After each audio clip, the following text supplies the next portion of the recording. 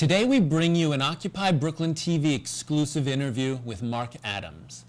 Adams was sentenced to 45 days in jail for charges associated with an action on December 17th of last year. He's the first activist convicted and sentenced to jail time in a group trial for an Occupy Wall Street action.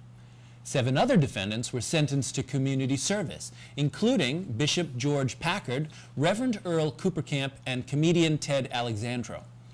Adams was released from Rikers Island prison complex on July 16th after serving 29 days in jail. You have been called the first Occupy Wall Street political prisoner um, from the movement. To what extent is your case or your, the sentence that you served in jail on Rikers Island unprecedented in the movement? Um, you know, before I answer that question, I just want to say that uh, many people within the movement have done time, um, whether it was um, at the tombs or they've done time for personal reasons.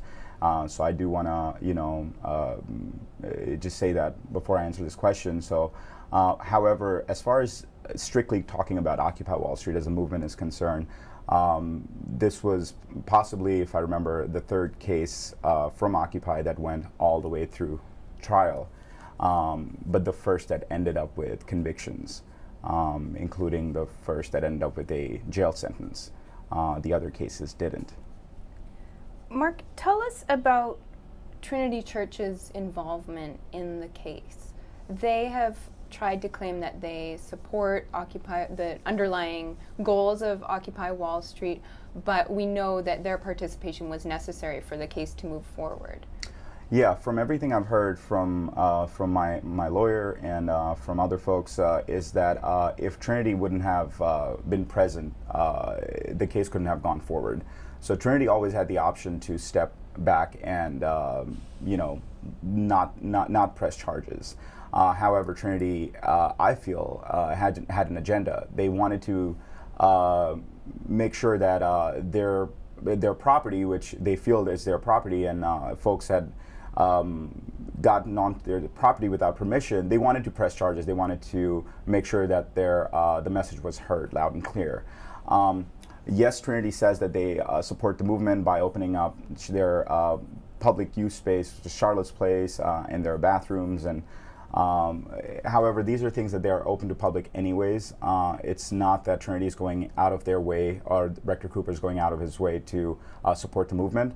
Uh, to me, supporting the movement would have been to say, hey, we forgive you your trespasses and, um, you know, uh, this it's not church a, a churches or a religious institutions business to put people in jail. Um, and uh, there have been other, uh, they, they had um, the faith community from around the world, uh, including Bishop Desmond Tutu from South Africa, had commented on the, you know, uh, this, uh, this whole action going back to D17.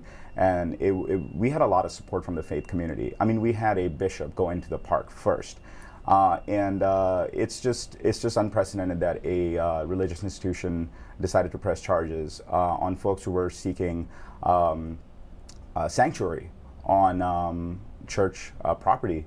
Uh, or I don't even know if churches should own property, but anyways, church property, and um, they they could have uh, this could this could have ended up better and different than it did.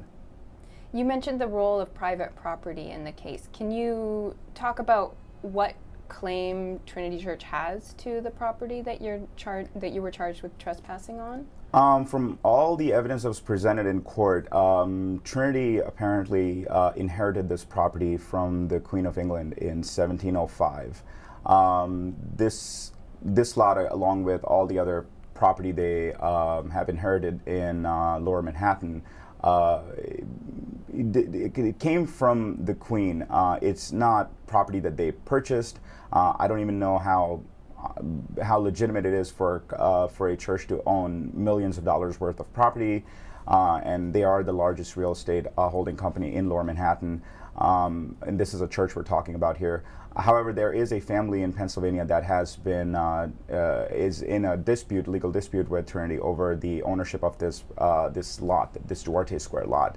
So um, that's the way it stands right now. Can you tell us about the support that you received while you were on Rikers Island. I heard one guard said he hadn't seen so much mail since Lil Wayne was being held there. Yeah, that's true. Actually, it was uh, you know. Um, it, the the whole uh, thing was difficult. Uh, I have never, I before this, I had never been convicted of a crime ever.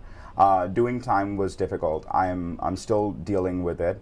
Um, you know, emotionally, it just takes time. Um, but however, it could have been a lot worse if I didn't have the support of people uh, within the movement and support of my comrades was just overwhelming. I mean, I was getting letters almost every day. Uh, I'm going to say every day I was getting um, books in the mail. I was getting, I was allowed two visitations a week uh, with three visitors on each visit, and I would get those.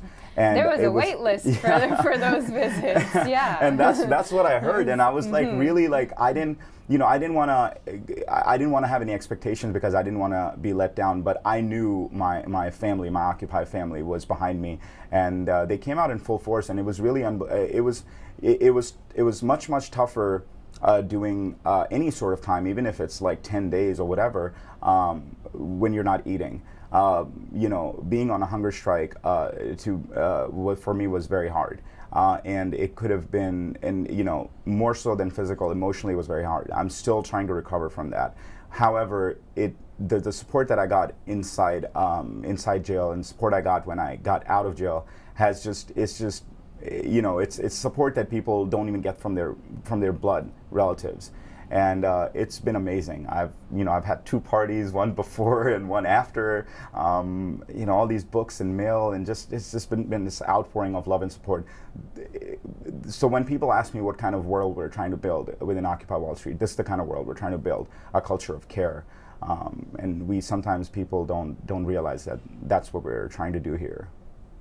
Do you want to say anything about your reasons for going on hunger strike while you were in? Yeah, I um, I will say that um, going in, I felt very powerless. Um, it was it was almost like I had um, I didn't have um, the tools of protest uh, that I usually have on the outside. I couldn't when go, you were in prison. Yeah, when yeah. I was in prison. And when I went in, it's not like I could hold a sign or rally or march and just you know let my grievances be known. Uh, and I knew that nobody would care. Nobody knew me on the inside. Um, I could write all the letters I want with wanted with uh, communiques, but it wouldn't have helped.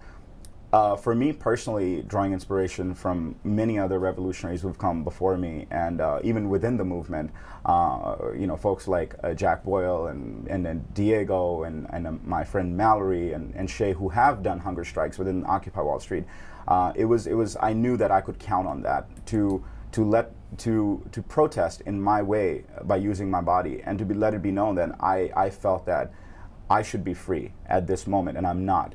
So uh, for me, it, going on a hunger strike was actually a very powerful political tool of protest, and um, and I've gotten the support I've needed to come out of it, uh, and it's been a lot of support, um, you know, both medically uh, as well as like uh, emotionally.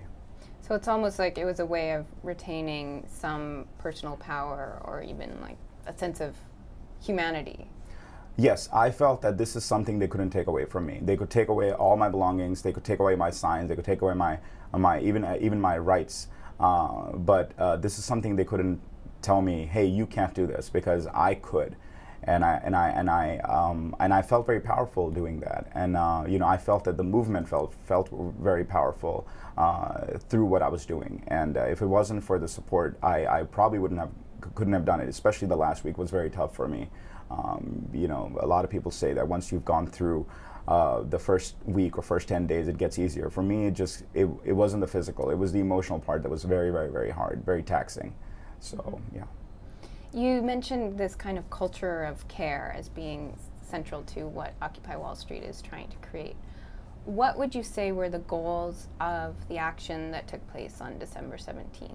And to what extent do you think those have been achieved?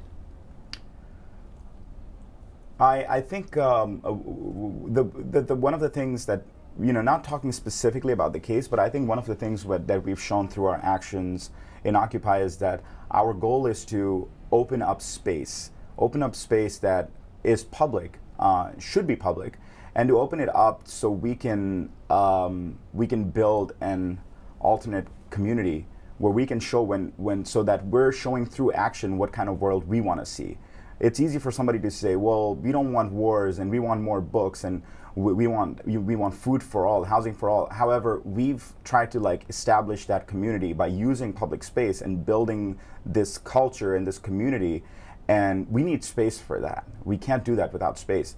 And we had that space for a short time at Liberty Square. We've tried we've tried to show that at Union Square as well as actually sleeping on Wall Street. Um, so our, I think our goal uh, was and remains to this day to try to uh, build this community by using space. And uh, it's not that we can always go into a space and are going to be allowed to be there. So we try to like uh, use our resources and and uh, use education as a tool um, to to build this world. And so people can come and see like we we we actually are walking the walk. Mark, is there anything else that you want people to know about this case or about the the trial of December seventeenth? Um, I'll, I'll say that. Um, or about you? yeah, I, I, I, will say that um, if you know many of my comrades right now in the movement are looking at some very serious charges. Um, some of these cases, whether they're the eviction cases, um, N17, uh, and actually even some case some cases left over from D17 that had nothing to do with the park. Um, some of the folks are looking at some very serious charges. And, um, you know, I want them to know that the movement stands behind them. Uh, no matter what happens, uh, there is a very strong community uh, that is ready to support you. Uh, if you are going to look at, you know, time, and I hope that nobody else does, uh, but know that there are people out there um, who are supporting you and are going to write to you and are going to take care of you. And um, even if you don't have family here in New York, like I didn't, um, Occupy will be your family. They're going to step in and and everything will be taken care of. You know, I didn't have money in my commissary. Folks within Occupy took care of that.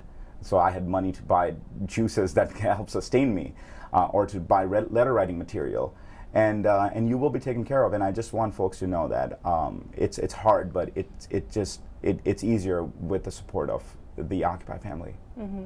And I know just from my own experience of doing jail support and, and writing to you while you were um, serving your sentence that it's really, I think, opened up a new awareness of the hundreds of thousands of people who are behind bars, you know, for any number of politically motivated um, reasons. And um, so yeah, and just wanting to to broaden our awareness of the of the prison industrial complex and how it works, and and to support other prisoners. Um, and so, is there anything that you want to ask people at home to do, or ways that they can, you know, show support for people who aren't as fortunate as you to be to be on the other side yet? Yeah, right now there are many political uh, prisoners in jail doing time, like Hammond and others who have been part of like uh, our political prisoners, and it's important that uh, you know folks pick up a pen and paper the old-fashioned way because that's really the only way you can write to prisoners. And um, and if you are gonna say write to your to you as a political prisoner that you are supporting, write a letter to them, but then write a second letter to somebody else who's doing time. And um, you know, a lot of times, yes, we say you know, write to political prisoners, but write to anybody because I've met many folks on the inside who don't get any letters, and it was hard for them to see me getting all these letters, and somebody would like come and be like, "Can I read your letter?" Because they aren't getting that support. They're being punished by a, by a system that um, that is punishing them for some very minor offenses that shouldn't even be crimes to begin with. So I think it's an uphill battle for us, but it's an important battle to fight against the prison industrial complex. But meanwhile, uh, supporting uh, folks in there by just putting money into their commissary or, or just writing them letters, I think that's something that anybody at home can do. And there are letter writing campaigns for political prisoners that happen in all cities, especially in New York City. And uh, folks get together and do that. So please look it up. And um, and ask around, and you will find uh, these communities that do that and take care of uh, political prisoners. Awesome.